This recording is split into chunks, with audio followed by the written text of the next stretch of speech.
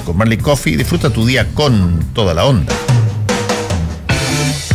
Estamos eh, en, eh, en, en nuestro panel de este, de este día miércoles y eh, estamos ya con José Francisco Lagos, que ya es de la casa y ha anunciado profusamente por las redes sociales que, que venía hoy día. Estamos con Elisa Walker, eh, ella es abogada del estudio Sarmiento Walker. Gracias por estar acá, Elisa. Gracias, Fernando, por la invitación. Debiera llegar eh, Pancho Martorell, que es como el decano de este panel. eh, y ¿Viene Alberto Mayolo o no viene Alberto? También debiera llegar. Así que, bueno, tarde o temprano los vamos a tener a, a ambos, pero ya.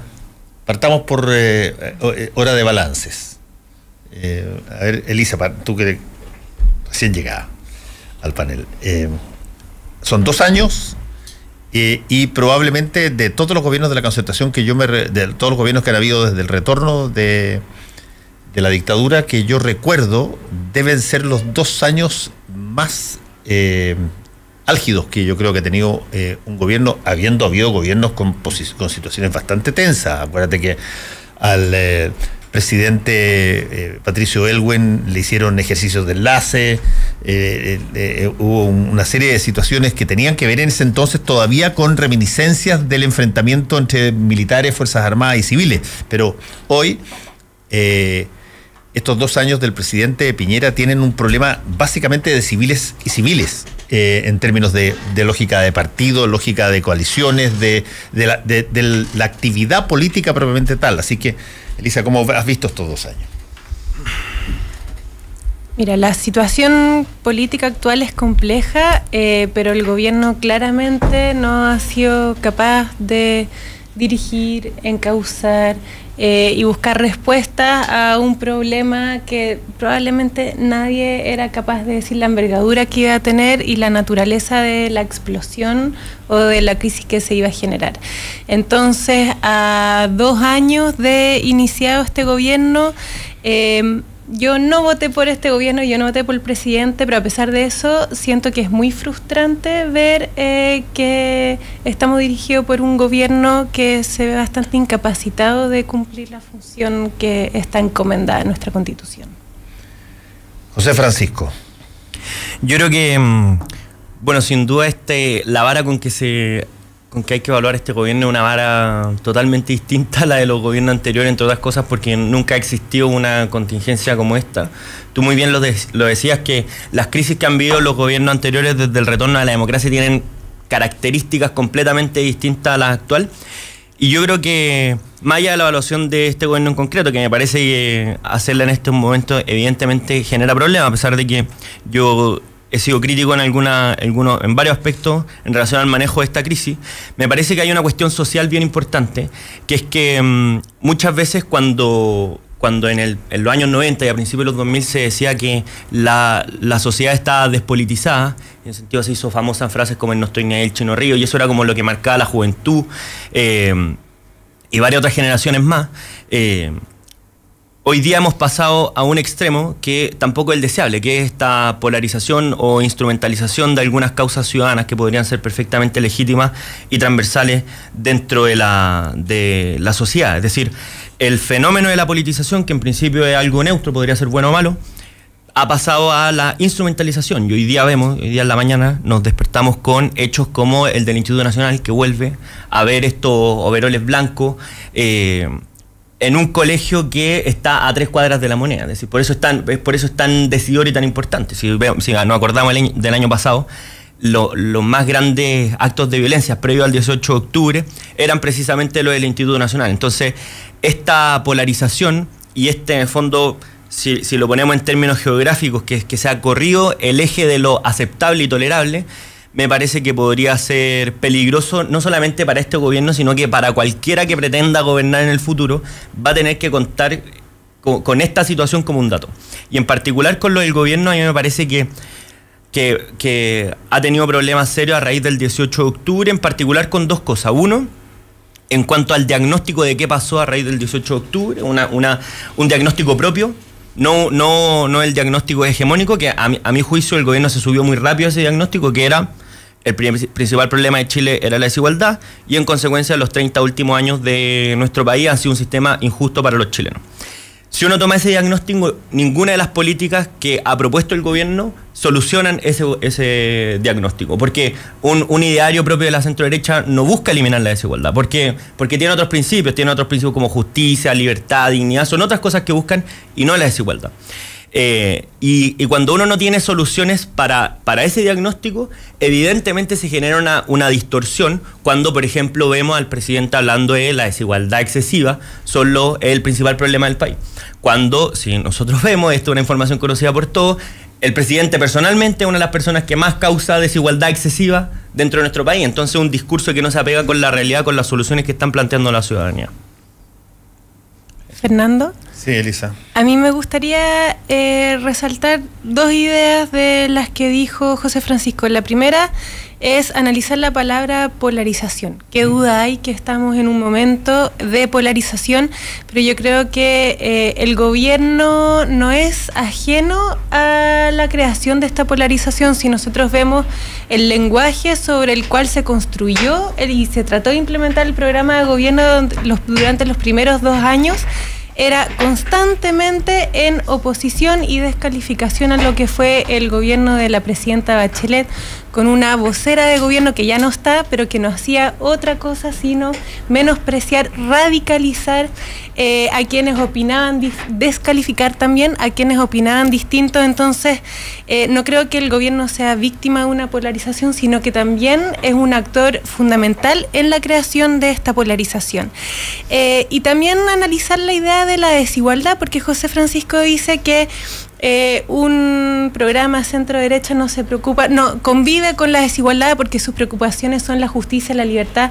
No podría ser una externalidad, pero no es lo que no es lo propiamente tal que busca. O sea, un programa izquierda es mucho más efectivo en ese sentido. Pero la, la, la, la desigualdad no se opone ni a la justicia ni a la libertad. Lo que busca la desigualdad es entender para que todos seamos, en algún sentido, autónomos y libres. No podemos prescindir de ciertas condiciones materiales que nos permitan sustentar nuestra vida y definir ahí cómo queremos vivir la vida. Entonces, o sea que, que ahí estás definiendo la desigualdad como las carencias y la, desigualdad solamente te habla de la diferencia, no si quien tiene, quien tiene poco. Porque podríamos vivir en un país desigual donde todos seamos ricos, o podríamos vivir en un país muy igual donde todos seamos pobres. Es decir, tú estás definiendo la desigualdad como fuera la pobreza.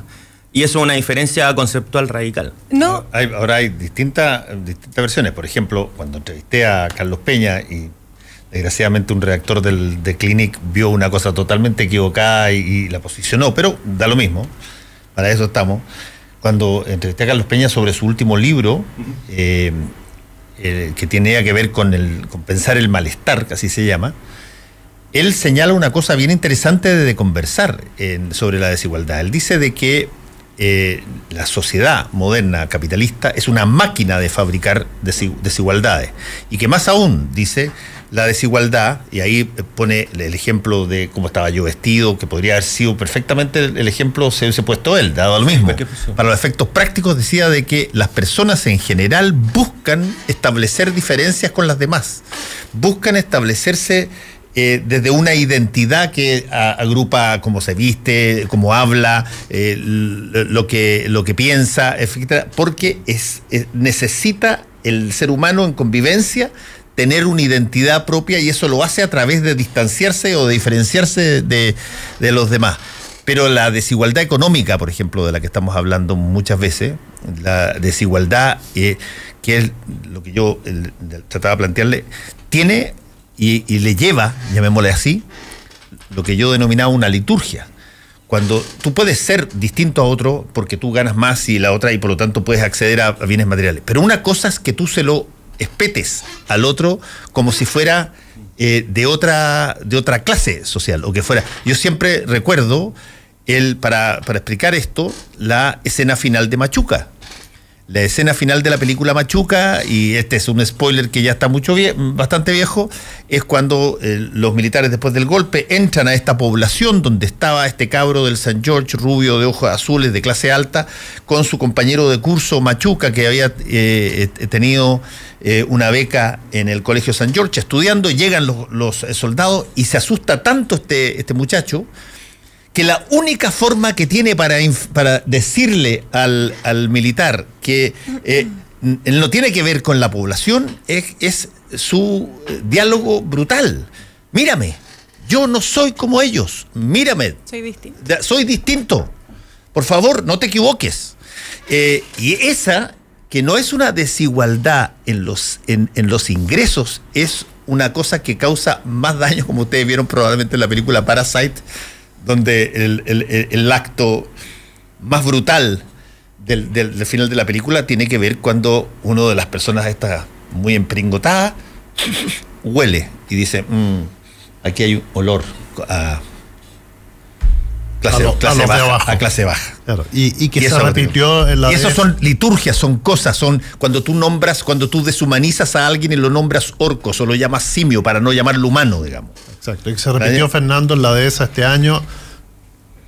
Eh, con el tema Machuca cuando dijeron ándate a tu población. Ándate a tu ah, población. Que era, que era, un diálogo Eso es lo que te corresponde. incluso. Entonces, no es, no es el acto de que tú te puedas tener un automóvil mejor que otro. Eh, es es todo lo que, lo que eh, esos mundos se separan sobre la base del trato, sobre la base del, del, de la liturgia que va acompañada de esa desigualdad. Y ahí habría que tener claro, perdón, que, que cuestionar la desigualdad no es llamar a la homogeneidad de todas las personas. Podemos rescatar la diversidad. Yo creo que la diversidad enriquece cualquier comunidad, pero no por eso vas a justificar o vas a obviar lo que es la desigualdad.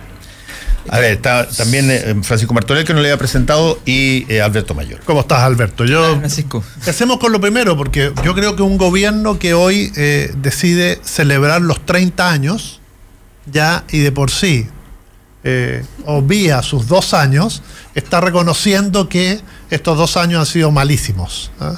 Por distintas razones. Una, por porque su diseño no funcó, un término antiguo, es decir, no anduvo. Eh, dos, porque este diseño le explotó en la cara. Y tres, porque cuando tuvo que enfrentarlo, lo ha enfrentado muy mal. llevamos cinco meses con una con un país que parece ingobernado. ¿ah? Entonces, eh, yo creo que, la decisión de hoy de, conmemorar estos 30 años tiene que ver con esto. Es decir, ¿qué podemos decir? Nada. Ahora, hay que esperar, obviamente, como siempre, el discurso del presidente Piñera. ¿ah? que en este momento debe estar hablando y que seguramente nos va a sorprender, ¿ah? especialmente si se sale del libreto. Eh, en ese marco encontramos frente, una, una, vez más la polarización. Es decir, hoy, a 30 años del de, retorno a la democracia, con lo que significó el, el 11 de marzo de 1990, Fernando, que nosotros lo vivimos eh, muy fuerte. Yo estaba en el Congreso esta mañana preparándome, tú también. Eh, estábamos viendo todos los arreglos de última hora, cómo la, democracia se armó a última hora. Es decir, eh, las alfombras se estaban poniendo el día anterior, se estaban clavando las sillas, poniendo vidrio, poniendo los nombres, era toda una cosa muy, muy, muy artesanal. Eh, bueno, este gesto, ese, hecho que es, que es emblemático, que debería unir, que debería pensarse como, como un gran hito, hoy resulta que ni siquiera se puede celebrar en conjunto. Sí, Fernandito. Eh, tenemos al presidente Piñera que está hablando en estos momentos porque no lo escuchamos, pónganse los... Eh, como lo están demandando, y con mucha razón, todos nuestros compatriotas. Enviamos proyectos para controlar el alza de precios de bienes públicos esenciales como la electricidad o lo hicimos a través de medidas administrativas, como controlar o estabilizar el precio de la electricidad, el agua, los peajes, el transporte público. Frente a los abusos que se cometen contra algunos y los privilegios de que disfrutan otros, en los próximos días vamos a enviar al Congreso tres proyectos de ley. El primero para combatir con mayor eficacia los abusos que significan las colusiones, los carteles que abusan de los consumidores. Y también para combatir y castigar mejor los llamados delitos económicos. Segundo, un proyecto de ley para fortalecer la capacidad del Estado de proteger los derechos de los consumidores. Y tercero, un proyecto de ley para fortalecer la capacidad del Estado de proteger también los derechos de los trabajadores. Frente a las amenazas y efectos negativos que ha sufrido nuestra economía, hemos reaccionado con un importante paquete, programa de reimpulso económico que busca recuperar nuestra capacidad de crecer, proteger los empleos de nuestros trabajadores y también proteger a nuestras pymes y por supuesto promover la inversión. Sabemos que estas medidas no solucionan todos los problemas de todos los chilenos. Eso nunca va a ocurrir.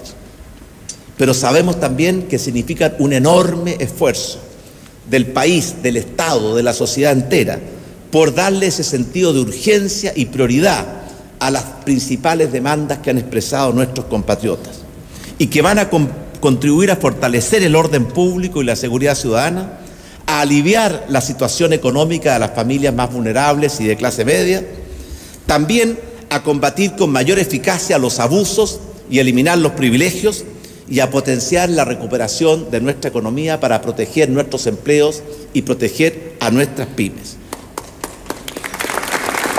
A ver, eh, esto, vamos a, vamos a ver, que, hay algunos que dicen que... Incluso algunos hablan de migajas. Yo quiero decir, nunca antes en la historia de Chile se había hecho un programa social tan amplio, de tanta envergadura y que comprometa tantos recursos públicos como el que hoy día estamos impulsando y espero con el acuerdo de todos los chilenos. Sabemos también que se ha iniciado un debate y un proceso constitucional. A ver. Frente a esto, yo estoy convencido que la inmensa mayoría de los chilenos queremos mejorar, perfeccionar, modernizar, cambiar nuestra constitución. Y por eso el gobierno ha impulsado y ha respaldado el acuerdo que alcanzaron un importante grupo de partidos políticos en un momento muy crítico de nuestra sociedad, en que muchos pensaban que estábamos perdiendo el rumbo y que la política no era capaz de responder. Ese acuerdo, que se consagró posteriormente en una reforma constitucional, abre un camino para discutir y avanzar en materia constitucional que incluye dos opciones. Y quiero decirlo con todas sus letras. Las dos son igualmente legítimas e igualmente democráticas para perfeccionar, modernizar o cambiar nuestra constitución. El primero, el apruebo, busca lograrlo a través de una convención constituyente que podrá ser totalmente elegida o de carácter mixto. El segundo apunta a lograrlo mediante un acuerdo dentro de nuestra institucionalidad vigente. El país, los chilenos, van a resolver el camino el 26 de abril próximo. Y todos tenemos que respetar la decisión libre y soberana que tomen nuestros compatriotas. Nuestro gobierno ha asumido un compromiso y está trabajando para garantizar un proceso constituyente pacífico. Y por eso condenamos la violencia, toda la violencia, venga de donde venga, de cualquier naturaleza. Pero además de ser pacífico, queremos que sea transparente, que sea alegre y que sea participativo y que refleje la voluntad del pueblo de Chile. Hoy en que nuevamente vemos nubarrones y amenazas al orden público, al Estado de Derecho, a la paz social, a la sana convivencia, a la marcha de nuestra economía e incluso a nuestra democracia. Es urgente y necesario revivir y practicar las mismas virtudes y cualidades que nos permitieron recuperar en forma ejemplar nuestra democracia hace 30 años atrás. El desenlace de las fuerzas y movimientos que surgieron a partir del 18 de octubre aún no está escrito. Y va a depender de nuestras actitudes, nuestras conductas y nuestras acciones durante los próximos meses. Y existen, o uno puede vislumbrar, dos grandes caminos básicos. El primero que impulsan algunos grupos apunta a validar la violencia, a debilitar las instituciones y el Estado de Derecho, a desprestigiar a las policías, a fomentar la división y la confrontación y el odio entre los chilenos, a actuar con demagogia, populismo e irresponsabilidad en el campo económico y social, comprometiendo así a las futuras generaciones, a descalificar todo diálogo y todo acuerdo a despreciar la amistad cívica y a intentar alargar la crisis lo máximo posible para poder obtener por ese camino los objetivos que nunca han logrado por las vías democráticas.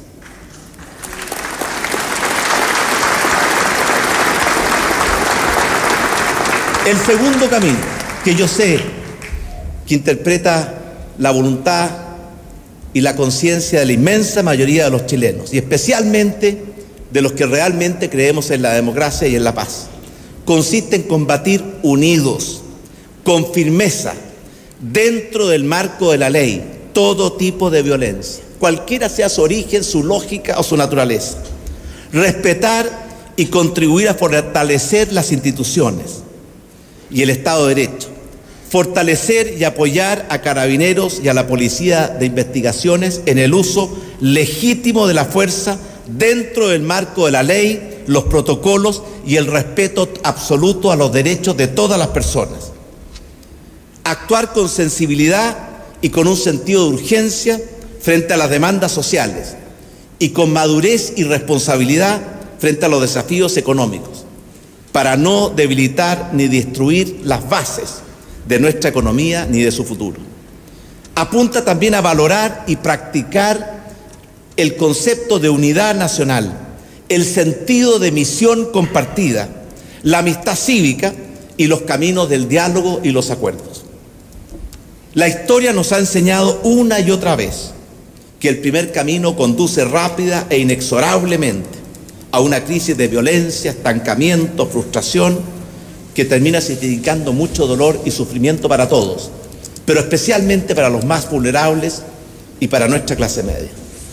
El segundo camino, estoy convencido y sé que así lo piensa la inmensa mayoría de mis compatriotas, conduce a un Chile más libre, más justo, más próspero, en que todos tengamos las oportunidades y los apoyos solidarios para poder desarrollar con nuestro esfuerzo nuestros talentos y buscar así nuestra realización como personas y nuestra felicidad como familias.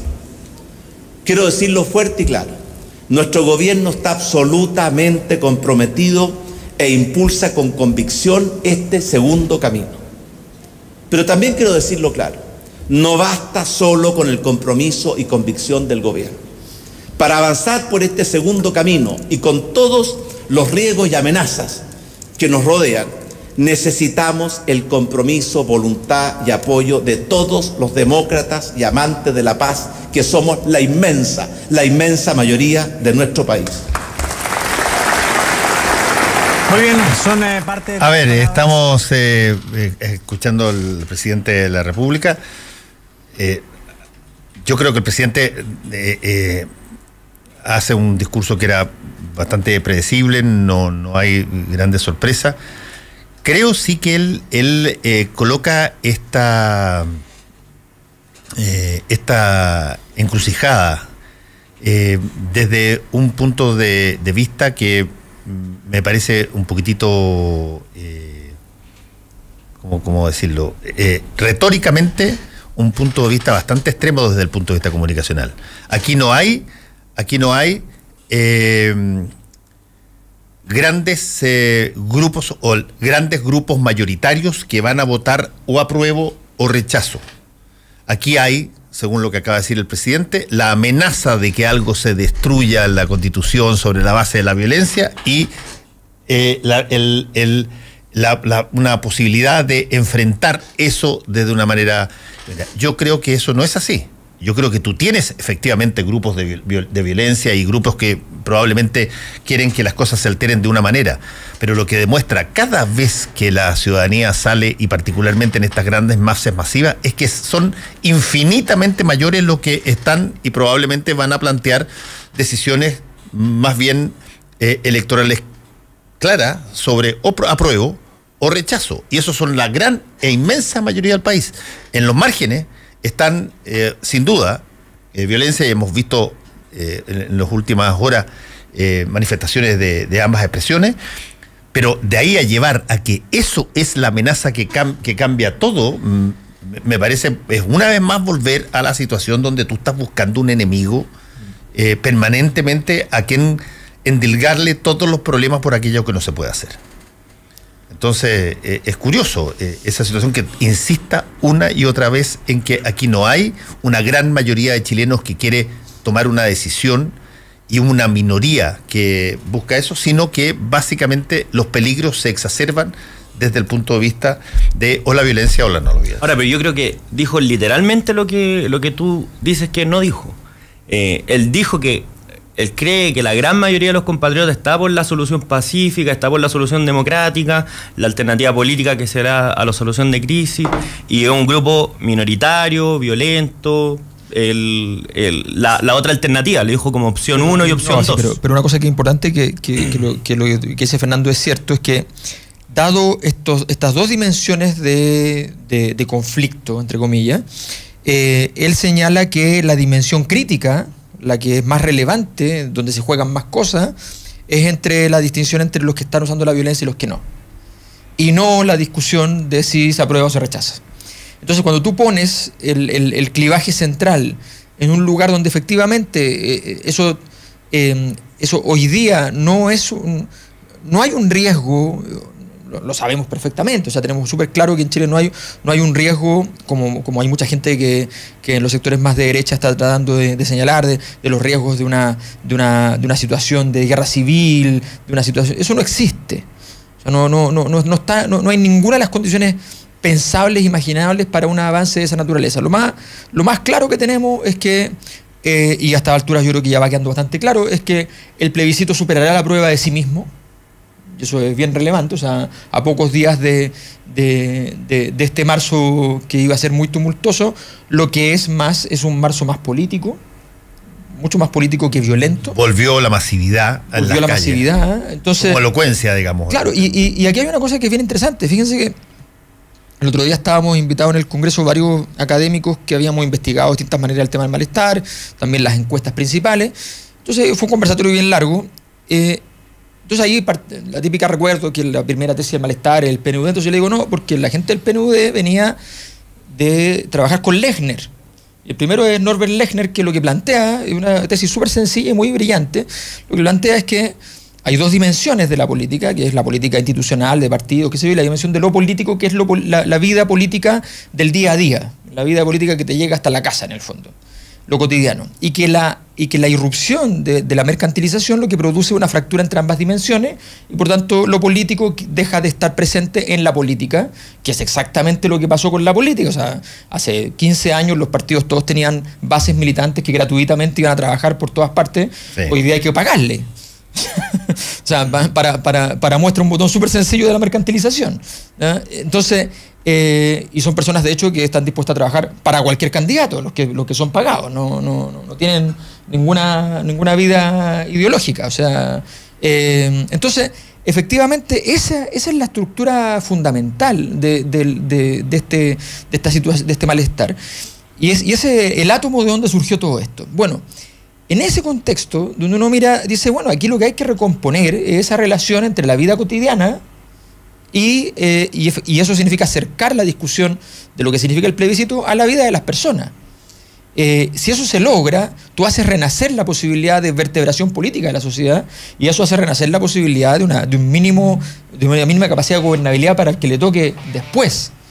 Eh, entendiendo a mi juicio que, la posibilidad de gobernabilidad del presidente Piñera no, no, tiene, no tiene mucho remedio, porque además él tampoco va a cambiar muchas cosas. Por ejemplo, él, eh, en su discurso habían cosas que podían haber sido interesantes. Si él cuando dice, porque lo dice, que fijó precios, dice, dijera, miren, ¿saben qué? Nosotros no creíamos en esto. Y nos hemos dado cuenta que, entiendo que no puedo decir que esto es una cuestión universal porque no es su doctrina, pero pero nos damos cuenta que bajo ciertas condiciones es necesario. Y hemos entonces hecho una modificación de nuestra doctrina. Ese gesto repara. Pero él siempre hace esto. Cuando, cuando dijo, al final no lo hizo, pero dijo el 2011 que nacionalizaba el CAE en el fondo, que se pasaba a hacer todo del Banco del Estado y que, no iba, y que se iba a transformar, no iban a haber bancos metidos en el tema de la educación, que nunca finalmente ocurrió, esa es la verdad. Bueno, eh, cuando él dijo eso, podría haber dicho eh, que efectivamente eso era algo que era inusual en su doctrina. Pero nunca lo dice, sino que lo deja, lo deja pasar y trata de, sacar los réditos sin asumir los costos ideológicos que ello tiene. Creo que esa, esa, esa fórmula no sirve en un momento como este. Y entonces él puede hacer muchas cosas que pueden estar acertadas dentro del punto de vista del escenario, pero no es capaz de llegar, de llegar más lejos.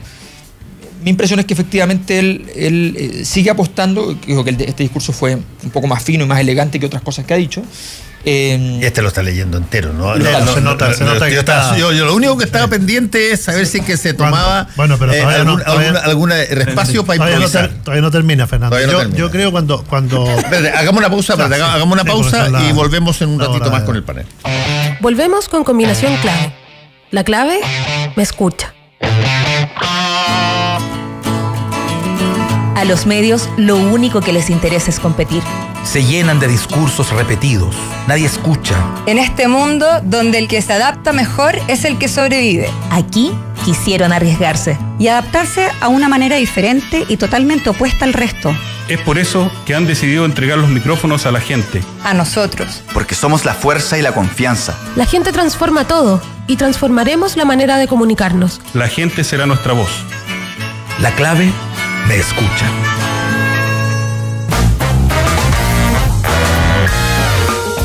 Hablando de los 10 años, si uno comparara lo que pasa hace 10 años y lo que pasa hoy día, hace 10 años atrás era imposible sentar en una mesa un gerente general con un emprendedor, digamos, de short y chala, que es el típico estereotipo. Claro. Hoy día, por lo menos, ya los vemos compartiendo, ya van a after office, Van a ya se están entendiendo. negocios. Entonces yo diría que los próximos cinco años van a ser bien interesantes en el tema de relacionamiento entre empresa y startup. Y eso Y estamos cayendo están y estamos metiéndole harto ahí para, para ayudar. Soy María Elena Dressel y te invito a que nos escuchemos en Emprender es clave, de lunes a viernes, de 11 a 12 del día. La clave me escucha.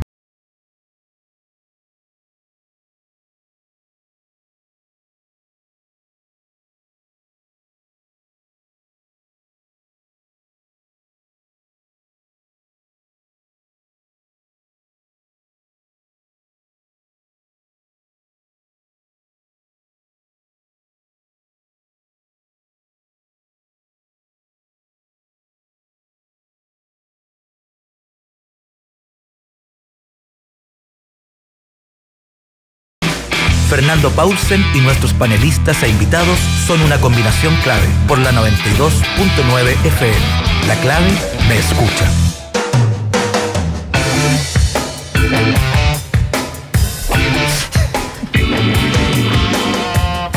Las vacaciones de verano se viven en Club Providencia. Consulte por el programa de verano y las clases de natación intensiva. Más información en www.clubprovidencia.cl. Te están esperando. Empieza tu día con toda la energía natural de Marley Coffee, un café de grano orgánico molido al instante con leche descremada. Prueba el sabor de Marley Coffee en sus dos exquisitas y variadas mezclas de máquinas self-service. Espresso, chocolate fuerte, té y otras bebidas calientes te esperan para recargar tu día con Marley Coffee. Disfruta tu día con toda la onda.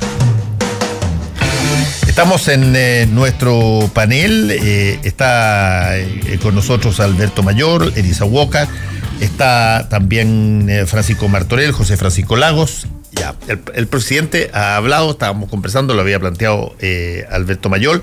Eh, bueno, pero aquí tenemos una, una situación que miremoslo de la siguiente manera, si se quiere, en términos de contraste. Yo sé que este contraste es injusto, pero quiero poner los, los parámetros.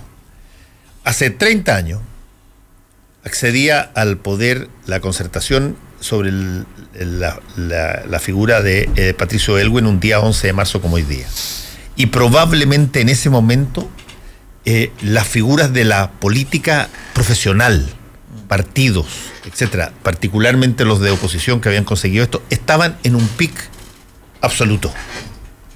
Hoy día esa misma concepción de eh, político profesional medido en las instancias de partidos políticos, parlamento, etcétera, están en la baja histórica más grande que ha tenido desde esos 30 años. El presidente de la República que sube hace 30 años, que era una persona, eh, ya una persona bastante mayor, digamos, eh, una persona que había tenido un comportamiento bastante polémico justo antes del golpe de Estado, que después se posiciona en torno al grupo de los 24 eh, y, canaliza en una discusión que en algún momento dado pudo haber ido para Gabriel Valdés o para él, canaliza la- la- el las posibilidades de liderazgo de una noción. Patricio Elwen es una persona que, si tú quieres, representaba exactamente la estirpe del político profesional clásico, conservador, católico chileno. Eh, una, una, una, persona de familia, una persona que tenía una trayectoria en su partido de larga data, que había tenido una serie de cargos, que había eh, tenido este liderazgo que después se, se eh, concentra en su persona eh, después del plebiscito y que llega y que hace gestos inmediatos de eh, tratar de fijar un, norte en el discurso que hace un día como hoy, hace 30 años, y posteriormente en el acto del Estadio Nacional al día siguiente en la tarde, que es una de las cosas más impresionantes que probablemente se han visto en el ámbito de esa situación. Hoy tú tienes un, un, un parámetro de comparación que prácticamente en todos los ángulos es, eh, eh, eh, tremendamente desolador por la baja aprobación de la política en general, particulando el presidente que, llega hoy día es un presidente que no es austero, que es un presidente de los más ricos del país, es un, presidente que tiene una polémica personal en su vida que, bueno, fue eh, y todavía se la recuerdan de tanto en tanto, que habla y dice cosas y que eh, interviene con polémica. la política en general está desprestigiada, las instituciones y la élite de donde tú lo quieras ver tiene una merma significativa, por lo tanto, en algún momento alguien se puede preguntar a ver cómo llegamos de esto a esto eh, en tan poco tiempo, pero el hecho es que tú tienes en esta realidad actual, probablemente el hecho más significativo de todo el hecho que es que tú vas a potencialmente cambiar la constitución. No lo consiguió Elwin, ni, ni, se lo planteó, no lo consiguió eh, Ricardo Lago ni Frey, Luis Tagle, ni eh, Michelle Bachelet, ni eh, Sebastián Piñera, no, lo consiguió este, este, esta, esta situación amorfa, rara, eh, diluida de, de, adhesiones políticas sin líderes. Y está ahí, potencialmente eh, disponible. ¿Cómo, cómo, cómo entendemos todo esta menjunje raro? Teniendo, teniendo, volviendo a ese 90, ese equipo de, colaboradores y la preparación de ese gobierno. Bueno, porque estaba todo, todo, el, país disponible. Claro, por eso. Es decir, si tú comparas el equipo político del gobierno de Elwin con el equipo político del gobierno del presidente Piñera, wow, las diferencias son enormes, digamos. Y la preparación que tuvo ese gobierno y cómo, cómo estudió el escenario previo, cosa que acá no ocurrió. Acá el escenario este gobierno lo, estudió de una manera muy superficial, en tanto el aspecto internacional como el nacional, y desechó muchas cosas que estaban ocurriendo y que, y que ya se estaban percibiendo en otros lados. Pero efectivamente, al, tema de fondo, es decir, ¿quién, ¿quién es el que encausa este proceso finalmente de que va a terminar el plebiscito del 26 o que se va a empezar el plebiscito del 26 de abril? ¿Es el gobierno? No, Está claro que el gobierno no quería, no lo tenía dispuesto, no lo pensaba y hasta el día de hoy todavía no lo acompaña con la fuerza, aunque eh, cierto sector se, mete un poco más, pero el gobierno todavía mantiene una neutralidad que es absurda. Vino Samper acá y le dice al presidente Piñera que el gobierno debe ser neutral, pero debe participar abiertamente en este plebiscito con una posición clara, porque el cambio de la constitución es de todos los chilenos. Y acá en el fondo el gobierno todavía está haciendo una mirada muy superficial de lo que viene. A pesar de que ha habido díscolo, ha habido díscolo, hay Ignacio Viones fue díscolo. Sí, hay, hay díscolo, hay díscolo, pero, pero, pero finalmente el 26 de abril uno se pregunta, cuando gane el apruebo, eh, ¿puede salir Piñera a festejar el apruebo? Va a salir seguramente, pero ¿puede salir? En términos concretos, uno, uno, uno, puede creer que el presidente va a enfrentar a la ciudadanía y va a decir, hoy ganó la prueba con una sonrisa cuando todo su sector... Hay, que ver qué sabe Pancho, porque en una de esas estas cosas son, son líquidas. Sí, claro, pero... Y, puede ser de que tenga una, manifestación o una posición más taxativa dentro de poco. Yo, yo ahí creo que, que el gobierno comete un grave error al no pronunciarse sobre algunas de las opciones, más, allá de las figuras personales díscolas que, eh, que por desgracia han estado todos por el apruebo los discos, ni uno por el rechazo. Eh, pero a mí me parece claramente injusto porque el, el gobierno dice que tiene que tener presidencia como si fuera la ONU, pero es la discusión política más importante de los últimos 30 años y un gobierno que es esencialmente político, que es un gobierno, evidentemente el gobierno de todo Chile, pero que está ahí por el apoyo de un sector político, evidentemente tiene que tener un rol, un rol político eh, mucho más, mucho más protagonista. Oye, José Y en ese Francisco, sentido- déjame eso, eso es agregarte un punto. El momento donde los gobiernos históricamente más tienen presidencia, que es en los momentos de las elecciones, donde, nadie- eh, donde tratan los gobiernos de aparecer como no utilizando todo el aparataje eh, eh, eh, estatal. con- esta- estatal para ponerlo al servicio de eso. En ese momento, que es un, un momento donde tú podrías justificar la total presidencia, nunca jamás un gobierno ha dicho yo estoy en contra del candidato de mi coalición. Todo lo contrario, han dicho, por cierto, que- que me encantaría que ganara. Ese es el punto, ¿no? No se trata de utilizar los recursos públicos para hacer campaña, pero, pero hubo un pronunciamiento político. Es decir, eh, el rechazo hoy día tiene más apoyo que el gobierno. Quizás si el gobierno se suma al rechazo podría aumentar su, su apoyo. Eh, pero hay una cuestión que es que, eh, en relación con lo que decía Alberto, eh, cuanto a la justificación de las cosas que al gobierno le duele conceder como por ejemplo esto de la fijación de precios o por ejemplo la reforma de las pensiones. El gran problema, ahí, Alberto lo ve desde la izquierda, pero yo lo veo desde de la derecha, la centro derecha, que el gobierno cede muchas cosas, está dispuesto a llegar a un acuerdo, que a mí me parece algo positivo, pero después nos intenta convencer, al menos a la centro derecha, que esa es la mejor opción.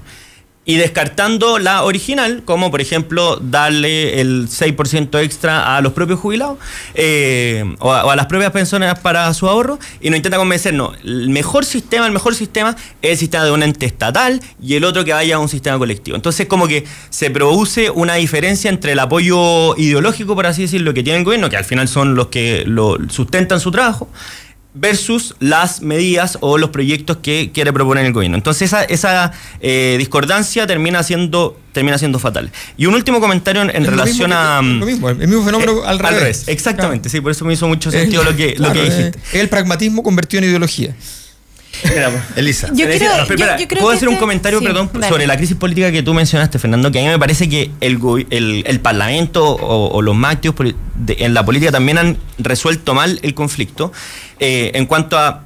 Hoy día hacemos la aprobación del Congreso, pero también de los partidos políticos están en, su, en sus mínimos históricos. Pero las cosas que han intentado hacer para resolverla, a mi juicio, son cosas que van más como entre comillas para la galería, más que una solución concreta real. Y esto lo hemos discutido acá, pero por ejemplo cuando se hacen reformas electorales que son el cambio radical de un momento para otro con media elección de por medio. Es decir, pasamos de, antes teníamos eh, inscripción voluntaria, voto obligatorio, pasamos de inscripción voluntaria, voto voluntario y ahora queremos pasar a inscripción obligatoria, voto obligatorio, en un periodo de cinco años. Entonces, todos estos testeos, o por ejemplo, uno de, los efectos que va a tener la ley de paridad de género es que muchas más personas con baja votación van a ingresar a los cupos seleccionados. Por ejemplo, nosotros hicimos un ejercicio de aplicar esta ley a la elección del 2017 y en esa ley hoy día tenemos 12 parlamentarios con el menos, menos del 13%, o sea, perdón, del 3% de los votos.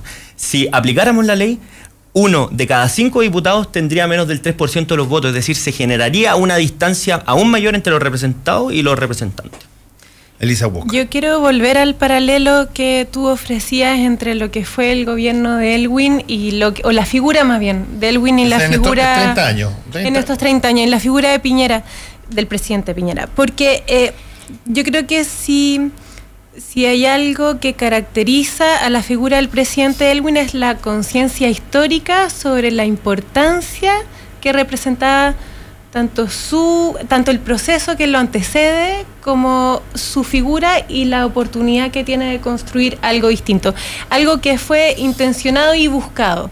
Tanto el plebiscito, la discusión eh, sobre construir el nuevo país después de dictadura, no fue casual, sino que fue una construcción de años. Y yo creo que eso, siendo en esta diferencia a lo que le ha tocado vivir al presidente Piñera, que dentro de esta discusión constitucional todos sabemos que fue algo que no estaba en su programa de gobierno y fue algo que no buscó. Pero creo que el problema que tiene, ya que no lo buscó, pero que sí, y creo que es un beneficio que tenemos como sociedad, que tenemos esta discusión abierta, Creo que el problema es el, es el, foco sobre el cual construye esta discusión constitucional.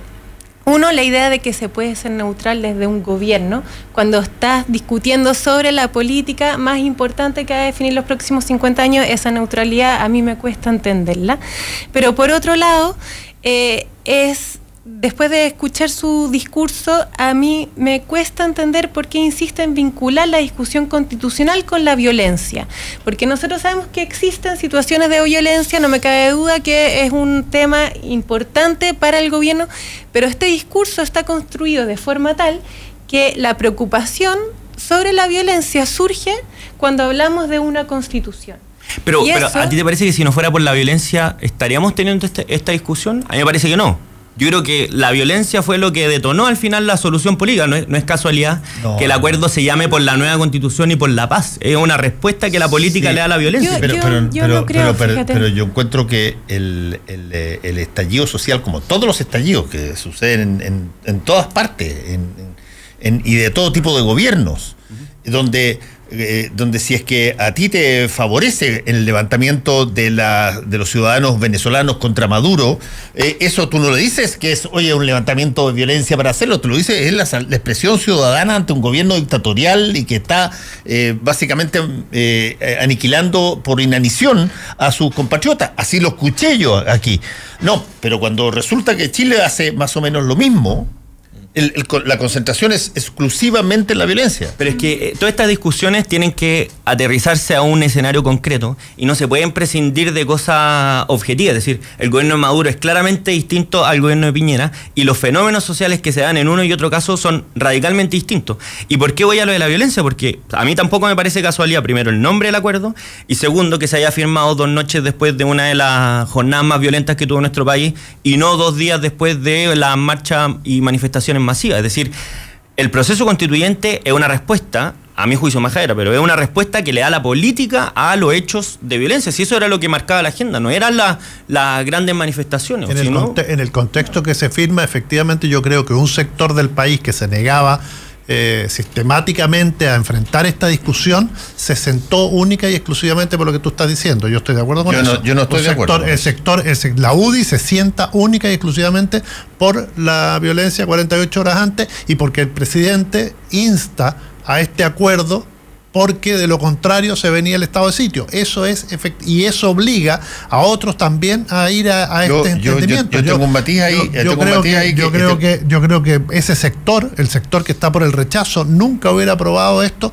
si es que no se hubiera producido esa jornada de Yo, 72 yo estoy, horas antes. yo estoy en desacuerdo en Porque eso por, fue por una- casi, por pero, una- Fernando, fue casi 15 días o 20 días después de una de las manifestaciones más grandes de este país Ese- y que no y que no fue considerada como en ese momento como la petición de, ver, eh, de una eh, salida espérate, institucional eh, a la crisis. Espérate, porque yo, sí, yo, yo sin estar totalmente en desacuerdo con lo que tú estás señalando, yo quiero decirte que aquí hay cosas que pasaron.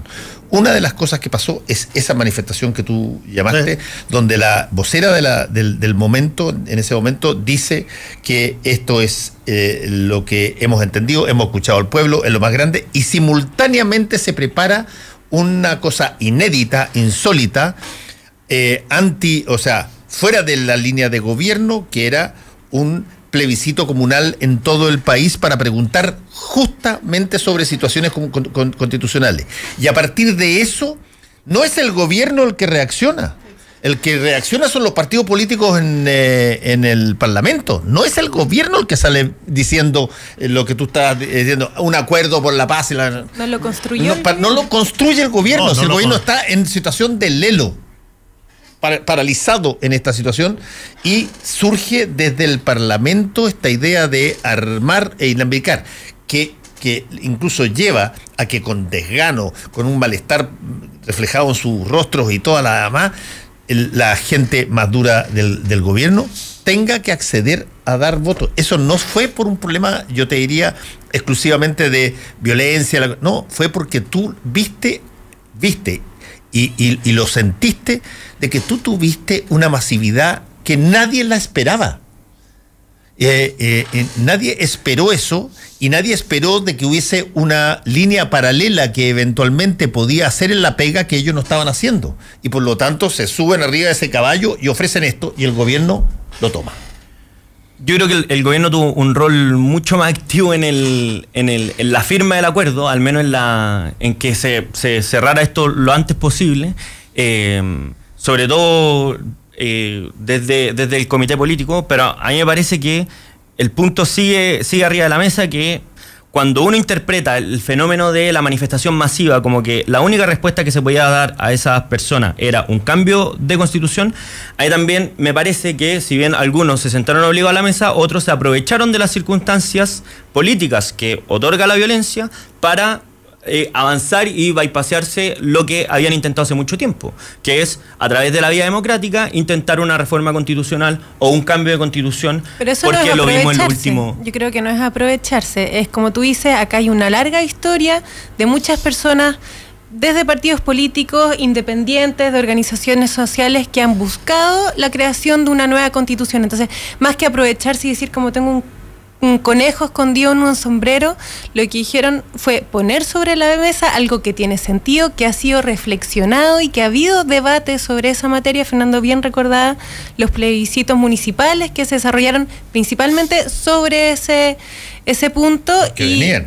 Claro. que, Que lo que se venía- habían que venía anunciado, para venían para Sí, o sea que se iban a hacer, sí. Para diciembre. ¿no? Entonces no, no- no fue una sorpresa, no una jugada. No, no, sí, yo no creo que sea una sorpresa. Yo creo que es que es un aprovechamiento el dar como única solución institucional a la crisis que se vivía cuando yo creo que las causas del 25 de octubre, que fue la marcha más masiva, eran múltiples, son millones, cada uno sabe dónde le aprieta el zapato, la- las causas que uno leía, no los grupos más organizados eran nueva constitución, pero el resto de la gente Pero iba muy- por, causas muy múltiples. O sea, eso, también, eso también es interesante porque yo creo que nadie ha dado como única solución el crear una nueva constitución. Sí como un elemento importante, pero yo lo que escucho, corrígeme si estoy equivocada, es que acá hay que actuar desde múltiples niveles, que uno es la discusión constitucional, que es importante, pero yo escucho mucho que si acá no se fortalece una agenda social, también la constitución no va a ser suficiente para encauzar la crisis en la que estamos viviendo. Yo creo que la, la- la- respuesta a esa pregunta, o sea, yo creo que primero, eh, la reconstrucción de esa escena, de esos días,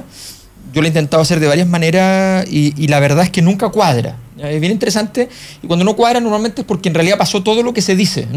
No, es que algunos tienen, sino que pasó todo.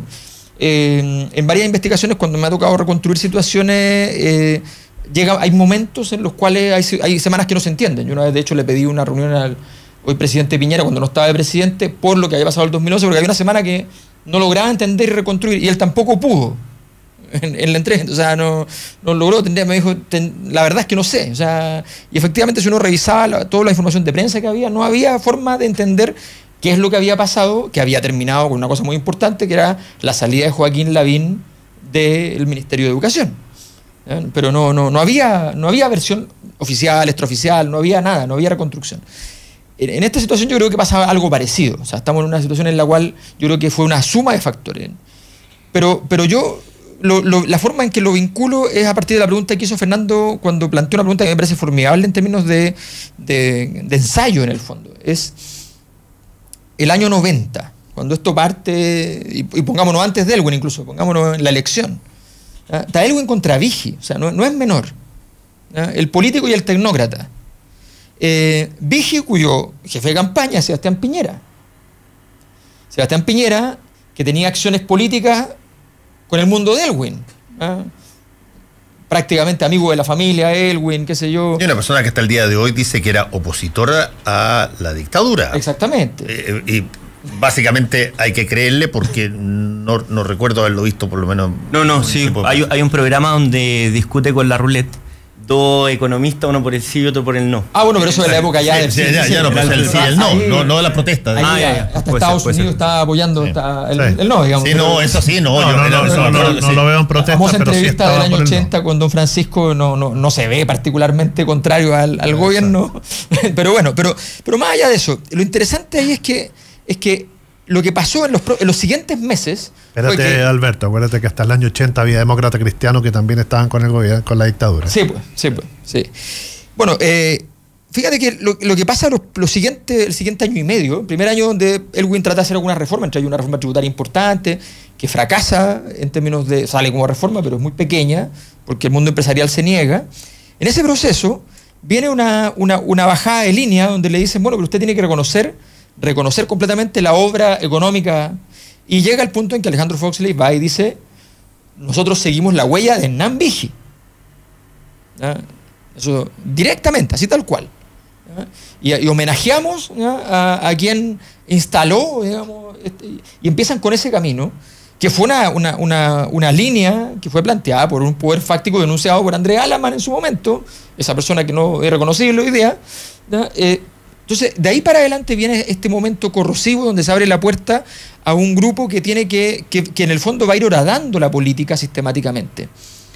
Y, yo creo que de alguna manera lo que pasó en, este, en, esta decisión de la nueva constitución fue que una de las variables más importantes fue la variable económica. O sea, fue el momento del precio del dólar, fue el momento del sector financiero gritando, que no hay, hay pocas cosas más histéricas que el sector financiero, Eh, y el sector financiero empieza a, presionar, eh, y, la, y la solución, y esto es interesante, para Sebastián Piñera, para, para el mundo tecnocrático, hacer cosas políticas es mucho menos grave que hacer cosas económicas. Hacer un cambio político, todo lo radical que sea, mientras no cueste plata, creen que, está, que es mejor. Esa, esa falta de conciencia, esa, esa modulación política que tenía Elwin, que tenía Jaime Guzmán, ¿ya? esa modulación política no la tienen. Ellos dicen, ya, pero ¿cuánto cuesta esta cuestión? Ah, ya, bueno, ok, accedemos. Si no había que tocar, y por eso la, la, tesis que planteas tú, efectivamente, a mi juicio es cierta desde el punto de vista de que el gobierno fue el que se compró la tesis, entregamos la constitución y nada más. Claro, lo que pasa es que, Entonces, que la constitución es el freno también para el modelo, para cambiar el modelo de desarrollo. Pero lo interesante es que los que están defendiendo el modelo, Exacto. con tal de defender el modelo en la corta, pueden entregarlo a la larga. Porque no tienen esa visión política, no, no, ni siquiera ellos se dan cuenta de la importancia que tiene la constitución para su, su quehacer cotidiano, para su negocio. Eh, a mí me parece que es, que es, interesante ese fenómeno del tecnócrata finalmente, bueno, la, el viejo problema de, de, de, de la, las viejas ironías sobre los capitalistas destruyendo el capitalismo. Eh, creo que, va más por ahí probablemente que, que, por otra cosa. Yo creo que el gobierno sí cree en esa tesis que tú planteas. Yo creo que la oposición nunca ha dicho la solución es constituyente y se acabó.